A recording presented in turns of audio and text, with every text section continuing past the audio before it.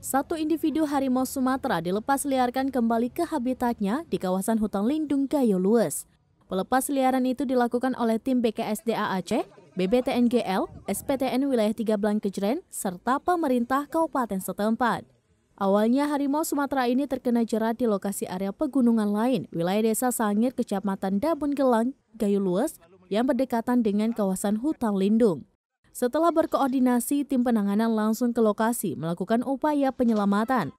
Saat dievakuasi, kaki kiri belakang harimau Sumatera terjerat dan mengakibatkan sistem sirkulasi dan motorik saraf terganggu, sehingga dilakukan perawatan intensif di kantor SPTN 3 Blankejeren BBTNGL.